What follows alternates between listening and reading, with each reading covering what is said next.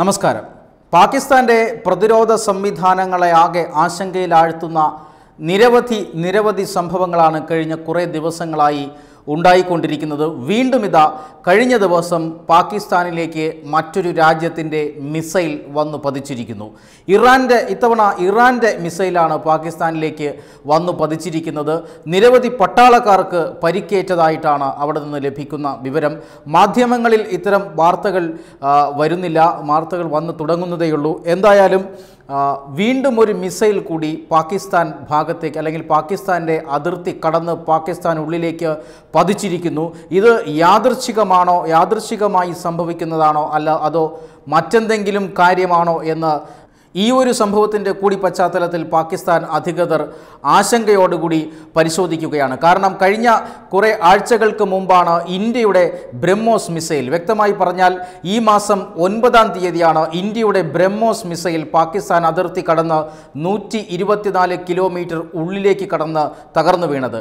ഇന്ത്യയുടെ ഒരു ബ്രഹ്മോസ് മിസൈൽ പതിവ് പരിശോധനകൾക്കും അതുപോലെ തന്നെ പതിവ് മെയിന്റനൻസിനും ഇടയിൽ അബദ്ധത്തിൽ ഇന്ത്യയിൽ നിന്ന് വിക്ഷേപിക്കപ്പെടുകയായിരുന്നു പോർമുന ഇല്ലാത്ത ശബ്ദാതിവേഗ മിസൈലായിരുന്നു ബ്രഹ്മോസ്. അതുകൊണ്ട് തന്നെ ആളപായമുണ്ടായില്ല. പക്ഷേ ചെറിയ നാശനഷ്ടങ്ങൾ പാകിസ്ഥാൻ അകത്തുണ്ടായി അന്ന് പാകിസ്ഥാൻ പറഞ്ഞത് ഇന്ത്യൻ അതിർത്തിയിൽ നിന്നും പാകിസ്ഥാന്റെ വ്യോമ അതിർത്തി കടന്നുകൊണ്ട് എന്തോ ഒരു വസ്തു പാകിസ്ഥാന്റെ ഉള്ളിലേക്ക് വന്നു. നൂറ്റി ഇരുപത്തിനാല് കിലോമീറ്റർ സഞ്ചരിച്ച് ഉള്ളിലേക്ക് വന്നു എന്നാണ്. അത് ഇന്ത്യയുടെ മിസൈലായിരുന്നു എന്ന് പിന്നീട് ഇന്ത്യ സ്ഥിരീകരിച്ചു. പോർമുന ഇല്ലാത്ത ഒരു മിസൈലായിരുന്നു.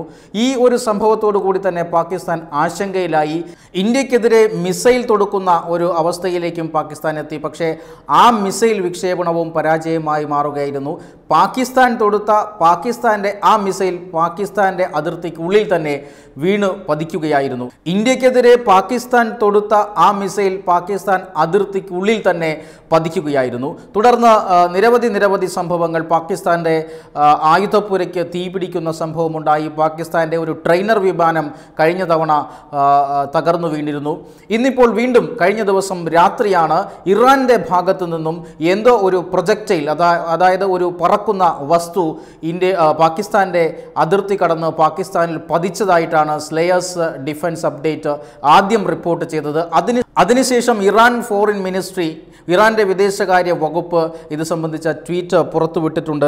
അതായത് during routine maintenance and inspection a missile was accidentally released at around seven P M it was later learned the missile had landed inside the territory of Pakistan while this incident is regretted we are relieved that nobody was hurt due to the accident എന്നാണ്.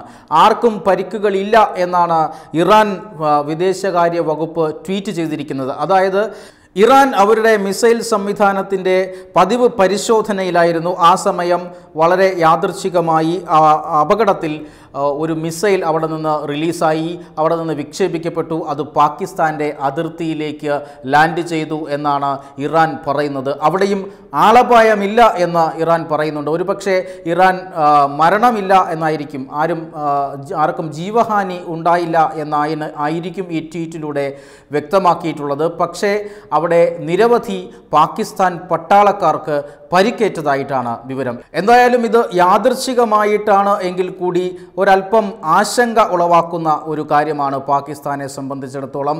കാരണം ഇന്ത്യയിൽ നിന്നും ഒരു missile അബദ്ധത്തിൽ വിക്ഷേപിക്കപ്പെടുന്നു അതിനാഴ്ചകൾക്ക് ശേഷം ഇറാനിൽ നിന്നും ഒരു മിസൈൽ കൂടി അവിടേക്ക് വരുന്നു എന്നതാണ്. ഇതിൽ രണ്ട് കാര്യങ്ങളാണ്. ഒന്ന് പാകിസ്ഥാന്റെ ഇരുഭാഗത്തു നിന്നും ആക്രമണങ്ങൾ ഉണ്ടാകുന്നു. പാകിസ്ഥാന് അത് തടയാനായിട്ടില്ല എന്നുള്ളതാണ്. പാകിസ്ഥാന്റെ പല ഭാഗങ്ങളിൽ നിന്നും പല രാജ്യങ്ങളിൽ നിന്നും മിസൈൽ ആക്രമണം ഉണ്ടാകുന്നു. അബദ്ധത്തിലാണ് എങ്കിൽ കൂടി മിസൈലുകൾ പാകിസ്ഥാന്റെ ഉള്ളിലേക്ക് വരുന്നു. ഇതിൽ ഏറ്റവും പ്രധാനപ്പെട്ട കാര്യം മിസൈൽ പ്രതിരോധ സംവിധാനമുള്ള രാജ്യം എന്നാണ് പാകിസ്ഥാൻ സ്വയം അവകാശപ്പെടുന്നത്. ഈ രണ്ട് മിസൈലുകളും പാകിസ്ഥാന്റെ ഉള്ളിലേക്ക് വന്നിട്ടും പാകിസ്ഥാൻ ചൈന നൽകിയിട്ടുള്ള ഒരു മിസൈൽ പ്രതിരോധ സംവിധാനമുണ്ട്. ആ പ്രതിരോധ സംവിധാനം പ്രവർത്തിച്ചിട്ടില്ല.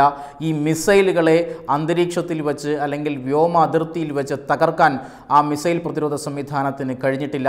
പാകിസ്ഥാനിൽ ആ മിസൈലുകൾ പതിച്ചു നാശനഷ്ടങ്ങൾ ഉണ്ടാക്കി എന്നു തന്നെയാണ് ഈ രണ്ട് സംഭവങ്ങളും വ്യക്തമാക്കുന്നത്. വെബ് ഡെസ്ക് തത്തുമൈ ന്യൂസ്.